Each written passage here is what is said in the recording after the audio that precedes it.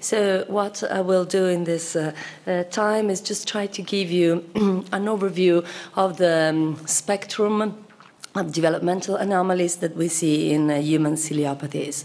So we're talking about the primary cilium, which really is a multitasking organelle because it's uh, present on the surface of nearly all cell types, both pre and postnatally, and it has different functions according to the cell type where it is placed. So, for instance, we'll find it on kidney and bile duct epithelial cells, but uh, also in neurons, and the primary cilium represents the connecting, connects the external and internal segment of photoreceptors receptors. And um, in many tissues, primary cilia have a function of sensors, so they're able to link a number of different stimuli that could be mechanosensory, visual, chemical, osmotic stimuli in order to regulate cell cycle and uh, cell polarity. But primary cilia are also very, very important in the developing embryo, and really they have a number of important functions. First, we do find primary cilia in the embryonic node, which is this uh, transient structure appearing during gastrulation that is uh, important for determining uh, the left-right axis pattern in the embryo. And it's, um, these are the only motile primary cilia that we have, and the movement of these cilia generate this nodal flow that is essential for the embryo asymmetry establishment. But also the primary cilium um, actually regulates uh, all developmental, all major developmental pathways do we have. So, for instance, the sonic hedgehog pathway that is uh, really essential for the development of the central nervous system and for limb development, limb patterning. It's completely mediated in mammals through the primary cilium. So, a non-functioning cilium uh, perturbates the sonic hedgehog pathway, but not only that, also the Wnt canonic canonical and non-canonical pathways and others, TGF-beta, Notch pathway, G-protein cell receptor pathways, and so on. So really, you can see how um, alterations in the function of the cilium may have very important and uh, uh, wide impact on uh, embryonic development. Uh, primary cilium is um, um, an immotile hair-like structure that protrudes from the surface of cells, and it's made of a ring-shaped um, axoneme uh, that's anchored uh, to the cell body through a basal body and uh, a transition zone that is a zone highly specialized of connection down here that functions as a ciliary gate regulating the in and out of the specific proteins within the cilium. So it is really important. We will see that uh, uh, proteins of the transition zone play a major role in regulation of ciliary function. Also, because proteins have to move up and down of the cilium, we have two important cargo systems, an anterograde transport that is kinesin mediated, and it's made of a complex of proteins um, called IFTB, and then uh, a retrograde transport moving proteins from the tip to the base of the cilium that it's dynein mediated and it's called IFTA. So, with so many different proteins involved, involved with this complexity, it is not surprising that we are uh, really uh, witnessing a great expansion in the number of disorders associated with mutations of ciliary proteins that are collectively called ciliopathies. And there are some um, features that we have to bear in mind when we talk of ciliopathies. First of all, this variable severity can be very mild or extremely severe disorders. Um, the second thing is that there is often multi-organ involvement. So these are mainly syndromic conditions, although some of them can be focused on a specific organ, but there are clinical red flags. So there are recurrent abnormalities that should make us think of a ciliopathy straight away. And the third important thing is that there is a, a massive, impressive clinical and genetic overlap among distinct ciliopathies, and sometimes it becomes very difficult difficult to distinguish them. So um, since uh, um, I've started working on Joubert uh, like 15 years ago, I will start from here, but not only because of this, but also because Joubert syndrome is really paradigmatic ciliopathy because it virtually overlaps with uh, nearly all other ciliopathies and uh, represents a perfect example of these disorders. So we known Joubert syndrome for about 50 years, since early description in 1969 by Dr. Joubert in a family of patients who um, there were three siblings with a non-progressive congenital ataxia. So this is the neurological phenotype that we observe in Joubert. It's fairly unspecific. It's similar to other non-progressive congenital ataxias. You have neonatal hypotonia evolving into ataxia. There is abnormal ocular um, um, movements, so usually ocular motor apraxia, which is an interesting uh, early sign, and there could be neonatal breathing abnormalities, apneas, hyperpneas that could also be life-threatening, and uh, these children develop, have a developmental delay and later develop a variable degree of intellectual impairment. So um, this is all fairly unspecific, but several years later, in 1997, Dr. Maria identified on brain imaging what is the pathognomonic sign that allows, uh, that allows us now to make diagnosis of Joubert syndrome just looking at brain MRI, and this is what we call the molar tooth sign. It is uh, um, a complex malformation of the cerebellum and brainstem, and uh, we have the association of a cerebellar vermis uh, dysplasia and hypoplasia that we can see on uh, sagittal uh, uh, median and paramedian cuts here, but also on the coronal because the cerebellar hemispheres gets opposed because of the um, hypoplasia of the vermis. And also what is very typical is this uh, thickened and uh, horizontalized superior cerebellar peduncles that you can very clearly recognize on the sagittal paramedian slices, but also on the axial cut and this is the most pathognomonic cut that you uh, that allows you to make diagnosis of Joubert syndrome because uh, these uh, um, superior cerebellar peduncles actually make the roots of what it looks like a tooth, and this, uh, along with this um, umbrella-shaped fourth ventricle and the deepened interpeduncular fossa, really resembles a tooth. So a molar tooth is clearly recognizable, and when you see it, you make diagnosis of Joubert syndrome, regardless of the phenotype. So the neurological phenotype, we've seen it, is fairly unspecific, but Joubert syndrome can be much more complex than that. And indeed, we can observe a range of uh, developmental and non-developmental defects. There could be retinopathy or retinal dystrophy, and this can range from a very severe Leber congenital amaurosis with blindness in the first year of life to less severe and less uh, uh, progressive uh, uh retinopathies with some conserved vision. There could be um, cystic kidneys uh, or uh, more often a progressive condition of interstitial, interstitial, tubular fibrosis that is called nephronophthisis.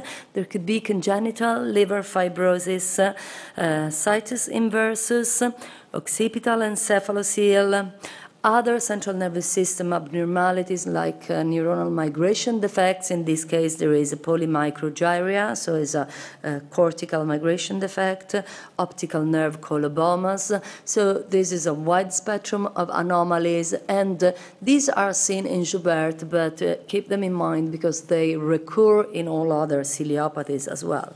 Also, we can have a spectrum of oral facial digital defects because um, OFD conditions are also part of the ciliopathy spectrum, and these anomalies can be part of Joubert, but also of other syndromes. So we can have all types of polydactyly, can be postaxial, can be preaxial. You see the uh, bifidus, you know, like enlarged uh, toes here. You can have pre and post-axial polydactyly at the same time. It can be mesoaxial with Y-shaped metacarps, and also oral anomalies, cleft palate or cleft lip, this tongue hamartomas, or lobulated tongue that is also uh, found in these conditions, multiple frenulae, lingual or gingival, and uh, notched upper lip.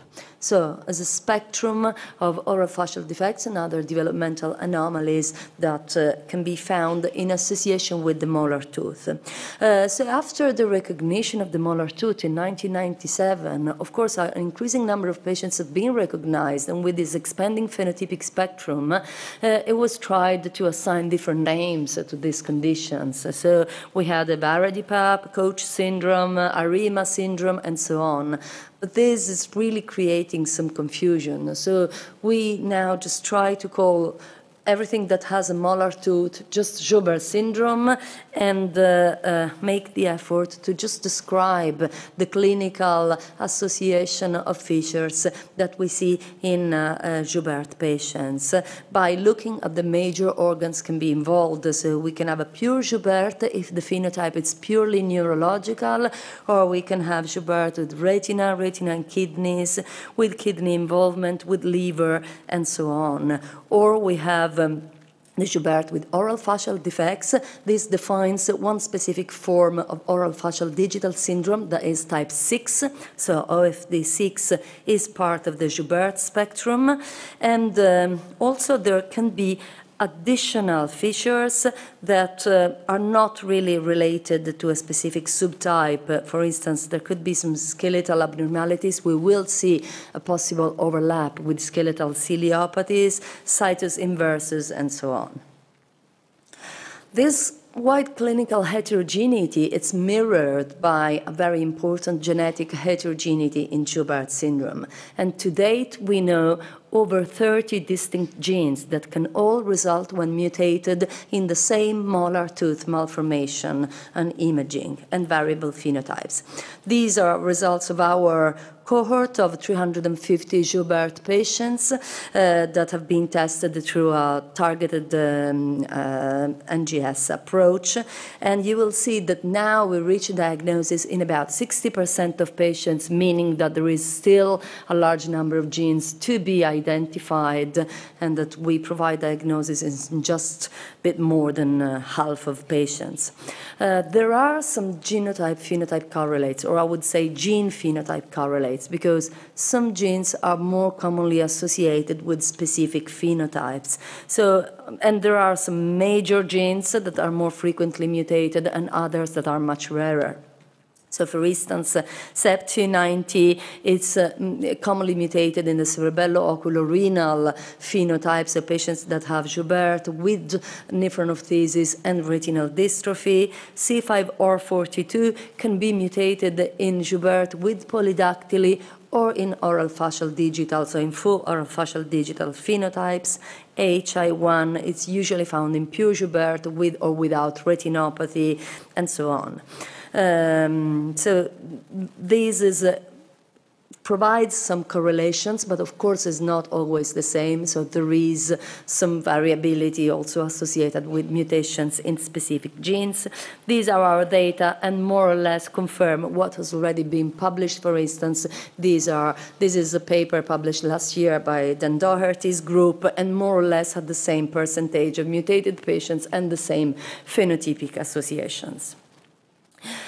Uh, the interesting thing is that uh, this uh, wide phenotypic spectrum of Joubert largely overlaps with many other ciliopathies that are diagnosed based on specific features, but uh, uh, for the rest, the really the, the, the spectrum of multi-organ involvement it's very similar in all ciliopathies. So what we really do have to remember first is what are the clinical clinical red flags of ciliopathies. And uh, these are cystic kidneys, um, liver disease, especially congenital liver fibrosis, retinal dystrophy, when we see laterality defects, situs inversus, um, some uh, uh, posterior fossa abnormalities, the encephalocele, uh, polydactyly, oral facial defects, obesity, and uh, shortening of long bones and short ribs these are all features that should ring a bell that we can we should think about ciliopathies because these fistulas variably recur in all the ciliopathy phenotypes. And uh, if you want to try to classify them, there is a spectrum uh, going from milder to more severe ciliopathies. Among milder ciliopathies, we have isolated nephronophthisis, uh, Senior-Loken, that is nephronophthisis with retinal dystrophy, and Bardet-Biedl. We'll briefly see them, but these are usually um, more benign. Then there are some intermediate conditions that can be milder but can also be more severe. Among them is Joubert, but also the oral facial digital syndromes and the non-lethal skeletal ciliopathies. And at the extreme end of the spectrum, we have the lethal ciliopathies, including Meckel syndrome and the lethal forms of OFD uh, syndromes and skeletal ciliopathies. So um, there is really a wide spectrum of severity that we can face. Isolated nephronophthisis, uh, it's important because it's the commonest genetic cause of end-stage renal failure in children. And probably is the only uh, feature that's really non-developmental in these patients because uh, this is a progressive fibrosis, progressive interstitial fibrosis of the kidneys, and it can remain asymptomatic for many years and or just be polysymptomatic with anemia, growth retardation, uh, polyuria, polydipsia, and only become symptomatic with uh, um, either acute or chronic renal failure towards the, towards the end of the first decade of life. Uh, this is uh, the juvenile form. There are some rarer infantile forms where the end-stage renal failure it's much earlier, occurs at about two, three years of life. Uh, we usually have small kidneys, so not very enlarged kidneys with corticomedullary hyperechogenicity, and there could be small cysts. And uh, this can be isolated or associated with retinal dystrophy, with liver fibrosis, or be part of the Joubert spectrum, uh, or be part of the skeletal ciliopathies, and so on. So it's very variable. And um, this is a recent screening where we know 12 genes that were mainly associated to renal ciliopathies. And uh, in this screening, these genes were tested in a group of patients with all types of renal ciliopathies, but the mutation rate remains still very low for renal ciliopathies. So there's many genes still have to be identified here. Bardet-Biedl, the typical features uh, that uh, distinguish this from other ciliopathies is the obesity and hypogenitalism that is uh, associated with retinal dystrophy and renal cysts polydactyly and cognitive impairment. So uh, this allows you make the diagnosis, but then we can have other ciliopathy features that are associated. Here, genetics has made more progress. We know 19 distinct genes causative of Bardet-Biedl, and these genes account for about 80% of patients. So at the mutation rate, it's much higher. Um, in, on the, at the other end of the spectrum, we have Meckel syndrome. This is a severe ciliopathy that is lethal in utero and is uh, um, defined by the association of cystic dysplastic kidneys. And please note that a difference from uh, nephronophthisis, here we have large cysts and the kidneys are massively enlarged, as you can see from here or here. And uh, so cystic dysplastic kidneys associated with uh, occipital encephalocele, liver fibrosis, and polydactyly. Uh, so these are the peculiar features of Meckel, but we will see that these largely recur also in other lethal ciliopathies, such as skeletal ciliopathies and the OFD. And uh, on the other hand, here we can have skeletal defects in some uh, Meckel patients and other abnormalities. So as I said, sometimes it is difficult to distinguish the phenotypes. Um, the, we know 15 genes mutated in Meckel syndrome, 12 of them also are mutated in Joubert syndrome, so it can also cause a non-lethal, much milder phenotype. And this uh, um, study is um, from a, a, a, screening of consanguineous families, and the mutation rate was really high, over 90%, but also due to several founder mutations in the Arab population. In non consanguineous families, mutation rate is a bit lower, and it's about 60 to 70%.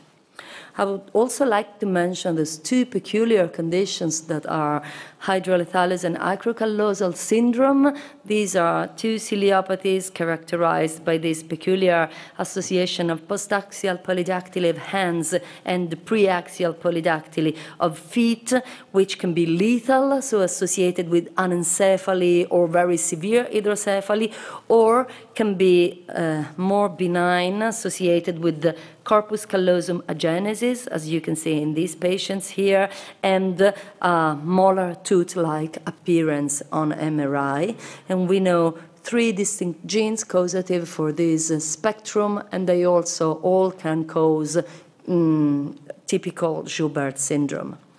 Then let's have a look at the oral facial digital syndromes and then the skeletal ciliopathies that are two other major groups of ciliopathies. And in the past few years, there, has been so much in terms of gene identification and understanding of the mechanism of these. So oral facial digital syndromes, we know 14 different types, but uh, it is very difficult to distinguish one from the other. Uh, as usual in the past, we tried to divide the different syndromes based on little uh, clinical differences, but uh, this is not always possible, especially because of the great uh, clinical and genetic overlap among distinct conditions. So it is important to diagnose an oral facial digital syndrome when you see the association of facial defects that can be hypertelorism, cleft lip, notch upper lip, or nose and chin abnormalities, oral defects, and uh, as we saw in Joubert, multiple gingival frenulae, tongue hamartomas or this lobulated tongue that you see here, cleft palate, abnormal teeth, and digital defects, all types of polydactyly and brachydactyly, clinodactyly, and so on. So these three features define a diagnosis of OFD, but again, OFD syndromes are ciliopathies. So patients can also present several of the other ciliopathy clinical manifestations, such as uh, uh, kidney disease. We can have cystic kidneys, kidney dysplasia, and so on. Uh, central nervous system mm, defects that can be demolar tooth sign, as in OFD6, or corpus callosum agenesis, meningocele, skeletal abnormalities, short limbs, uh, hypoplasia of long bones. So we do have an overlap with skeletal ciliopathies and other other defects. Um, these are the 14 forms, uh, only not very many genes have been identified. Uh, this is not even updated. There are a few more genes here in the OFD6 group because this is the group overlapping with Joubert, so we know more genes in this group. But it is interesting to note that also the genes that have been found in three distinct types of OFD syndromes are also mutated in Joubert, so there is an important overlap here as well. And uh, finally, skeletal dysplasias. This is really a fascinating group of ciliopathies. I will first briefly introduce cranioectodermal dysplasia because it's the one a little bit more different. The main feature of uh, uh, skeletal ciliopathies is the finding of short ribs and a narrow chest that is recurrent in most of these skeletal ciliopathies. And here, again, we have it. You can see like narrow chest with the short ribs, and uh, there is usually associated short stature and short proximal limbs and brachydactyly. And these patients also have this dolichocephaly due to sagittal craniosynostosis. But in this condition, the skeletal features are associated with specific ectodermal anomalies. So we usually have abnormal teeth or hypodontia, the sparse hair, skin laxity, and abnormal nails. And again, we can have all the full spectrum of clinical uh, ciliary red flags, renal involvement, hepatic fibrosis, retinal dystrophy, brain malformations. So the skeletal and ectodermal features you, uh, allow you make the diagnosis, but then the clinical overlap is always there. Uh, same for the other skeletal ciliopathies that are what we call the short rib polydactylies.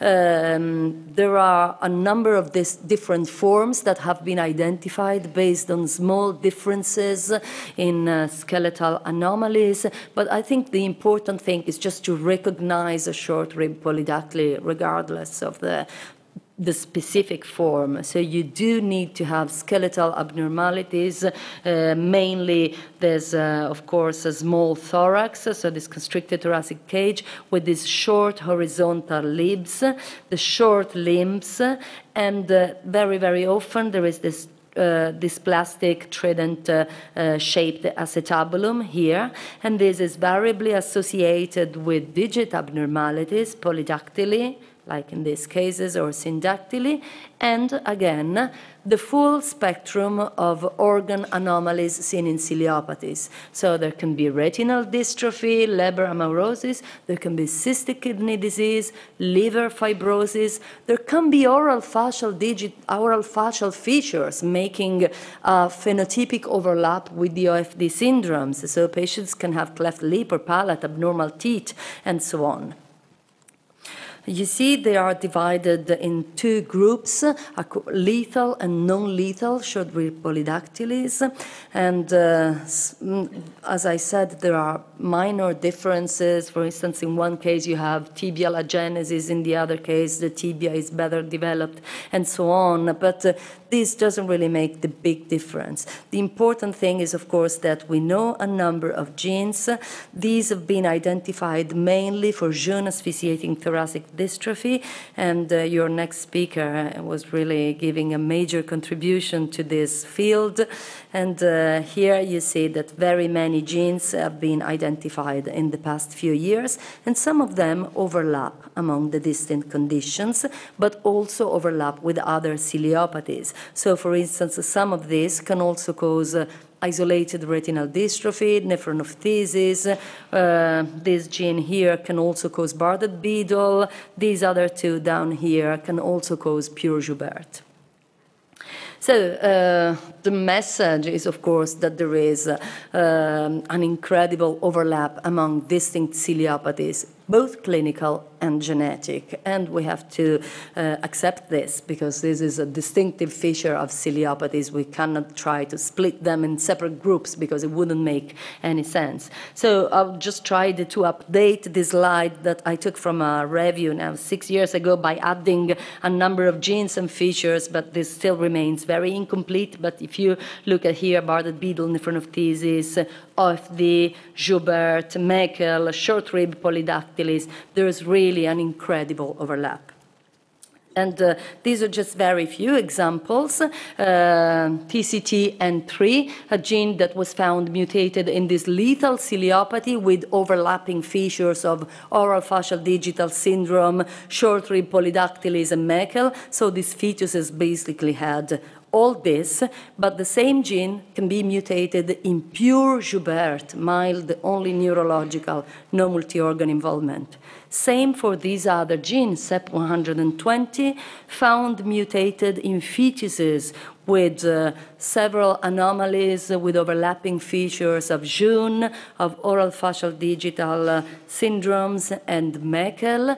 And we recently reported that CEP120 is also relatively commonly mutated 2-3% of patients with pure Joubert, mild pure Joubert phenotype.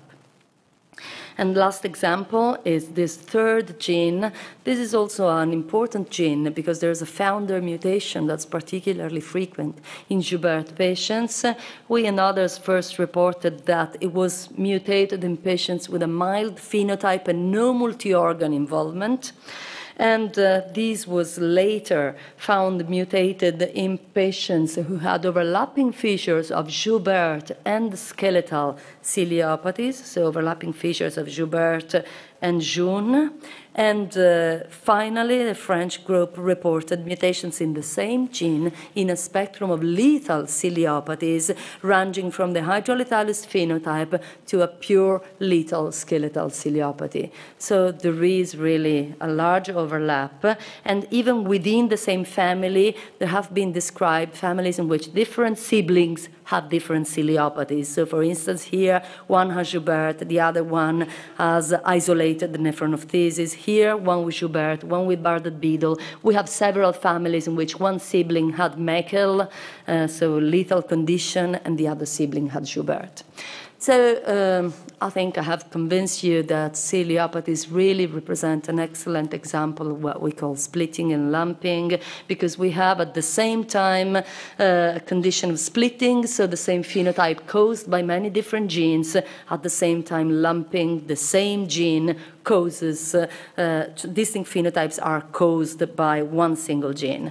But this is not a new concept in genetic, and actually it was already discussed by Victor McKusick in 1969, who in uh, this uh, paper on lumpers and splitters or the nosology of genetic disease was already facing this uh, big uh, problem that is still very actual at the moment, uh, talking about uh, pleiotropism and genetic heterogeneity, and uh, discussing the fact that geneticists tend to be lumpers and splitters, and he even made a cartoon at the time to try represent the splitting and lumping.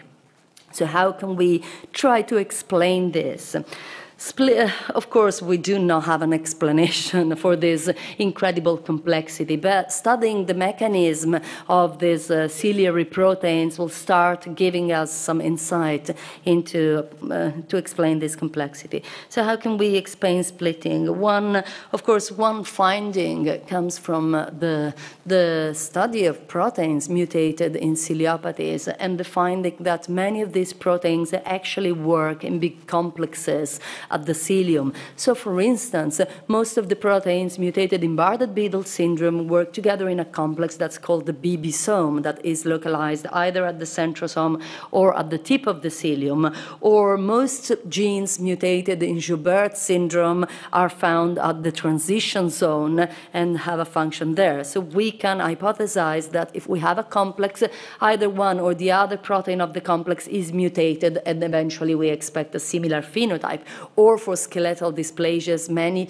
proteins mutated are part of the transport complexes, the IFT complexes uh, that uh, move proteins up and down the cilium. So, of course, this explains part of the story, but of course, uh, um, it's not always like this, and there are proteins that are misplaced or proteins in different complexes that cause the same phenotype. Lumping, it's even more difficult to explain because how is it possible that mutations in exactly the same gene, the same protein, gives rise to phenotypes that are so widely different?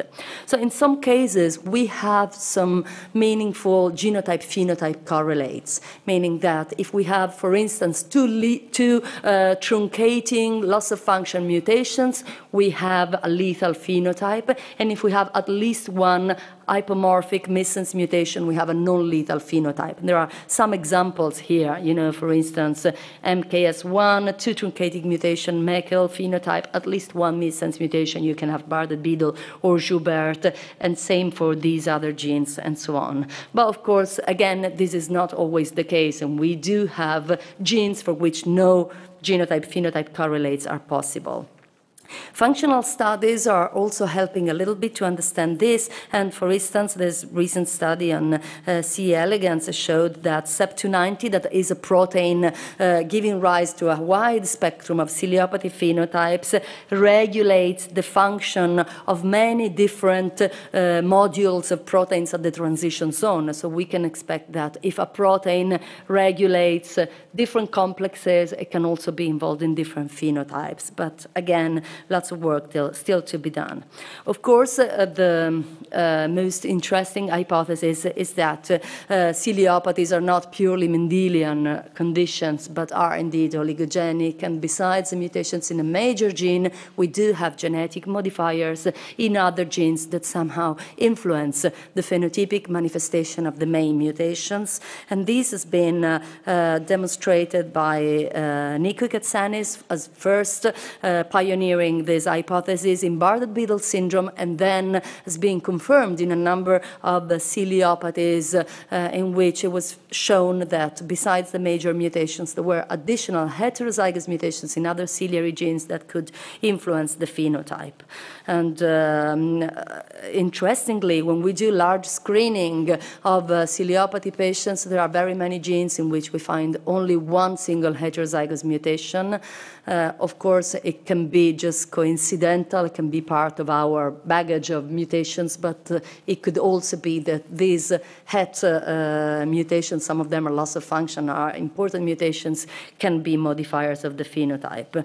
The, to make things most difficult, it was found that uh, these modifiers can even be represented by common variants, so we don't just have to look at rare uh, pathogenic mutations, but even polymorphic variants may act as modifiers, and this has been shown for two distinct polymorphisms with an allele frequency of about 3% in the control population that were found to influence the risk to develop retinal involvement in patients with specific ciliopathies, or for uh, uh, these other, in this other work, where variants in uh, the NPHP1 gene influence the risk uh, to have a worse phenotype in patients with Bardet-Biedl. And uh, this is also supported by mouse genetics because in different studies it was shown that exactly the same knockout, the same gene knockout, produces different mouse phenotypes of different severities according to, to the genetic background of the mouse, supporting the fact that this genetic background, the genetic landscape of the mouse may somehow influence the knockout that we produce, determining a phenotype that can range from Joubert-like to Meckel-like in, uh, in the animal model. So uh, it really looks for future studies uh, to try to understand this better. Um, to conclude, a few take-home messages.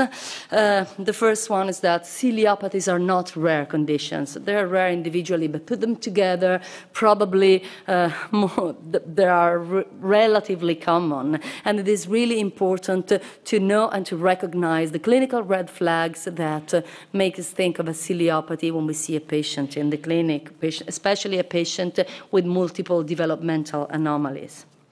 The second message is do not try to classify your patient into a specific ciliopathy syndrome at all costs, because this might not be possible in some cases. And we do have overlap phenotypes that are not classifiable in one group or the other. The important thing is just to describe the phenotype as best as, best as possible.